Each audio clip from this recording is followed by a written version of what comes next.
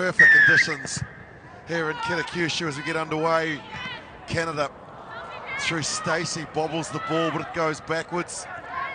Now out to Benn, Brittany Benn quickly gets over the advantage line and over the 22. Julia Greenshield. Steacy again. Farella to Kish. Into the contact back to Farella. They're making their tackles, first up tackles from the Russians. Landry to Benn. Benn spots a gap, gives it back. Short ball to her captain.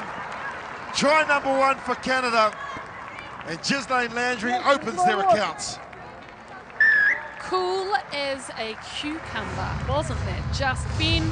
She's been outstanding so far this season, and Landry, her finishing touches just so classy. There's a bit of confusion in the middle of the field there from the Russian defence. See, the two of them clashed. Nobody identified who they were taking, so it meant that Landry had an easy free run to the try line. But Canada, this is why they're so dangerous. Landry, 23 points yesterday, 154 before those seven there, so 161 for this year, Melon. She's just developed into such a great sevens player, prolific point scorer. And there you see it, 161. Michaela Blyde yet to score a try here in Japan. Yeah, surprise it's been uh, going more Portia Woodman's way, hasn't it, for New Zealand? But Landry, she can create individually and she's coming off beautiful structure. They're doing all that work in the middle of the park for her. Kish will get up and compete, but the Russians finally get a chance to get their hands on the ball and look for their structure. Look to try and move the ball into the midfield. Into the clash they go. Hamidova is there. And now out to Mikhaltsova. Distinctive coloured dreadlocks for the Russian flyer. Hamidova goes in and has to clear it out. The line speed from Canada is so good that they're going to have to run across the field and then look at Canada just holding their line, holding their defence. No. No. Doing the rest. Use it. It's resolute defence from the Canadians. Now Canada, the Russians. Mikhaltsova again gets it, an offload. This is Petrova, nice pass. Finds some space and there's plenty of it down that right-hand side. Russians just playing in the middle of the field. Now they've found some space and they break out. Sweep and a beat. Landry does well. Just to hold her up and buy some time. Benn has done brilliantly to steal it. Good chance here for Canada on the counter-attack. Farella tried to get it into the hands of Darling. Hannah Darling gets it eventually. Breaks through the first. Jen Kish back to Greenshields. Green Shields breaks away. The mistake from Russia and Canada punished them. Good finish by Greenshields. She's super quick as well, but I'm going to put that all down to that incredible Canadian defensive system. Kish involved here, the veteran. She knew there was a little bit of space on that short side, but seriously, the way that the Canadians pushed Russia behind the 22, they just manned up. It was unbelievable. Maybe the kick option may have been better for them, Mel. Russia made that break in the middle of the field, didn't they? Usually that would have been a try, and Landry, who's kicking here, the sweep so accurate at the back two. 12 0. Canada beat England 29-12, Spain 43-5, and the USA 29-12 as well yesterday.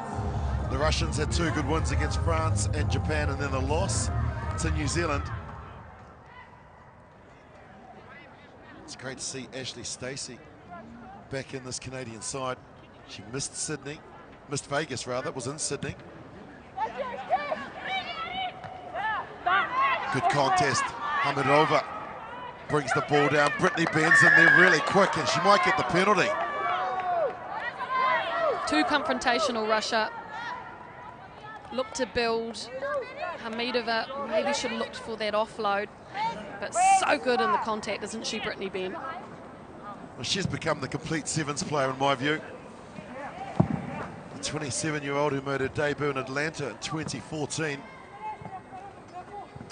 She's one of those players too, Mel, I think.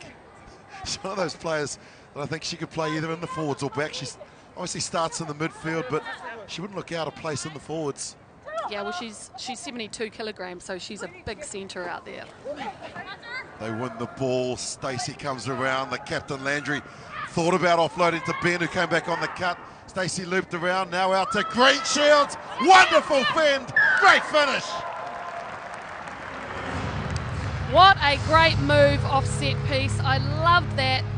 There was deception, runners off the ball in the middle of the park, and it was Steacy who came around on the wrap and provided that extra man. So let's have another look at it. Off the top ball, Landry. There she is there, coming around Steacy. Lovely pass out to Greenshields, who fended off Srokova, who's no slug herself. Wow, isn't Julia Greenshields having a great tournament? Well, she's having such a great tournament, Mel. Leading into this tournament, she had scored six tries. She's picked up five here in Kitakyushu. She is loving her time in Japan. And coach John Tait is thrilled to have her here. There you can see second on the all-time list on day two, Ellia Green, who picked up an injury earlier in that Australian game. And Basali, six on day one.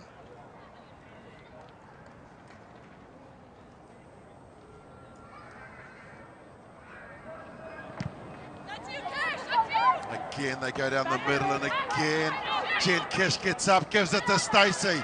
Darling. Inside the 22 they go. Farella's lost it forward there. Oh, look, there's a, a bit of emotion there. Frustration coming from Mikhaltsova there with the colour in her hair.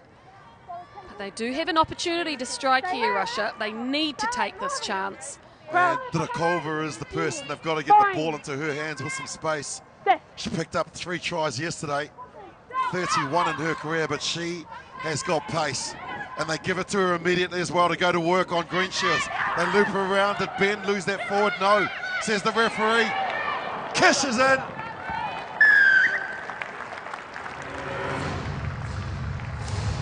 Well, Russia got out of bed the wrong side today. There's no doubt about that. Whereas Canada, they operate like clockwork. Jen Kish there in the end to collect. The wraparound should have been simple, but it was a hope. Pass and hope and Kish on the money as always. Fantastic work from Brittany Benn to create the mistake, to cause the pressure, and then to commit her body to the ball. Secured possession for that wonderful player there, Jen Kish. And the captain makes it seven from there. Of course she did. Four tries in seven minutes. Canada comfortably ahead by 24 to 0. Still plenty of time to go though in this match. As Ghislaine Landry kicks out to the left. Battle for the ball in the air again. It's been lost forward. Well, Russia really need to restart, pretend it's nil all.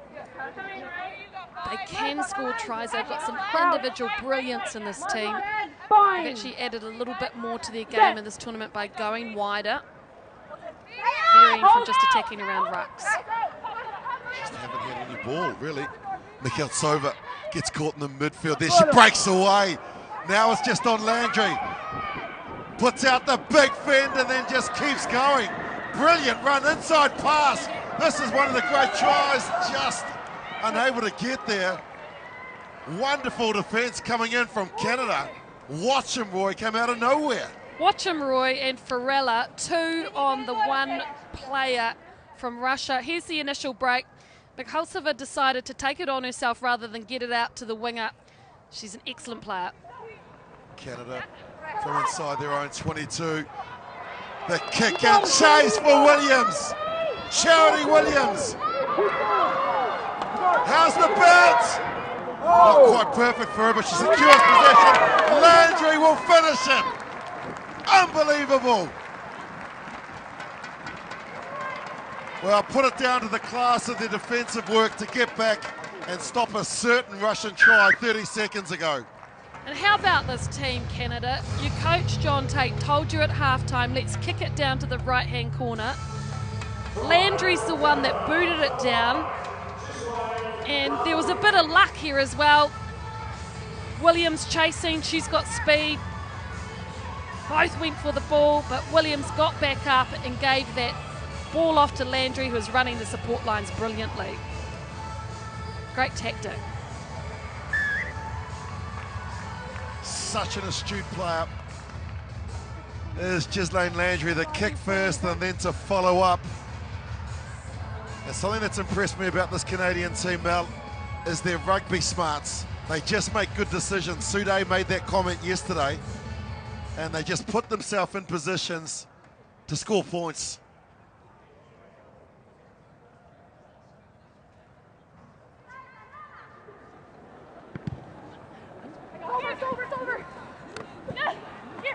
Again, Russia don't compete in the air, and again, a knock on will give them possession, but that's a real big work on for them. The kickoff hasn't worked at all for this Russian side. No, and I think it was Brittany Benn getting up underneath that ball again. Gee, she's versatile, isn't she? Noretsina comes on in jersey number one. And so coach Andrei Kuzin making some Russian subs. Cha-ching, ching. well, it's four minutes to go. He needed to try something.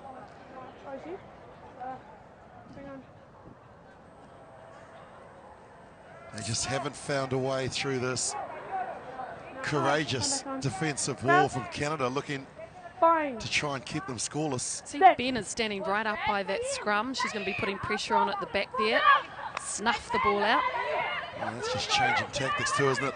They come back on the cut, but the tackles have been made. It's a good one from Farella, and that forces another error from the Russians, and it means more possession for the Canadians.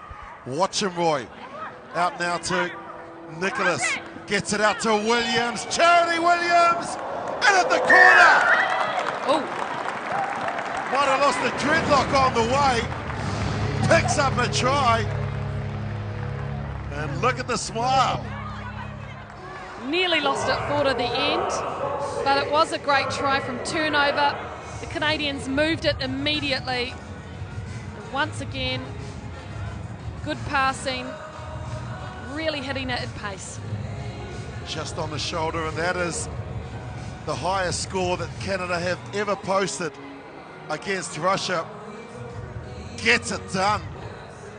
Great job. And you know that turnover came because Russia went back into where all the traffic was. You know, they had an overlap situation, they just made the wrong decision. Breanne Nicholas can't add the extras. It's a healthy scoreline if you're a Canadian fan. 36-0. Two minutes 40 to play.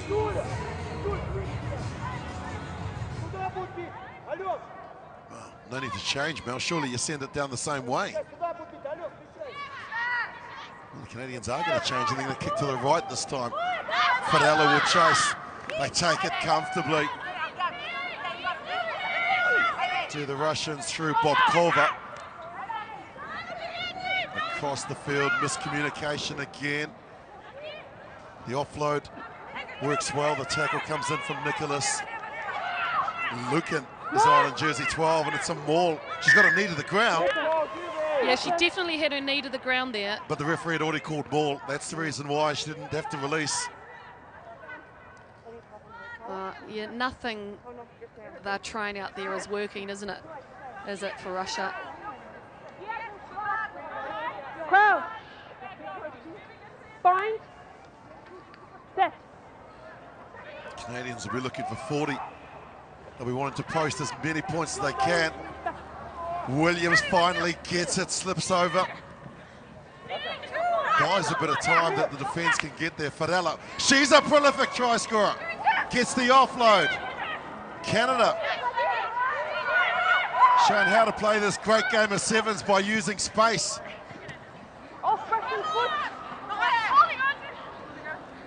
Russia look interested and they've got the turnover looking to get off the donut rusher. They've got numbers out here to the left. Now it's just a matter of running straight, drawing and passing. Some nice side step. Some good work coming out there from Bob Culver. Gets the ball out the back. Russia, best best real opportunity. Noritina gets it back, and this is Lidovskaya. Mikhaltsova, big tackle coming in on her. Good lineup here for Russia. They've got numbers. Now they look to go straight. Inside pass would work here. The cut. Then they go in and out.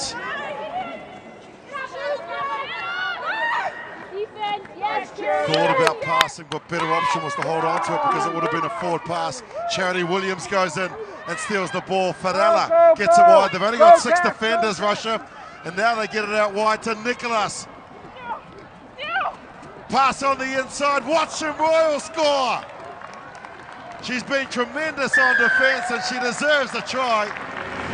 Canada reached 40. What a performance from the women in the red jerseys. They're playing the game the opposite way to how the Russians are because they're using the motto that the ball beats the player. They're putting it through the hands, they're using the width of the field. Support play again has been amazing. Great way to finish for them. Yeah, ninth time that they've ever scored 40 points, but for the Canadians, I'm sure Coach John Tait will be thrilled at the zero. Their defensive work was outstanding. And Canada will move through to the semi-finals of the Cup here at Kitakyushu for 2017. Full time here, Canada have won easily by 41 points to nil.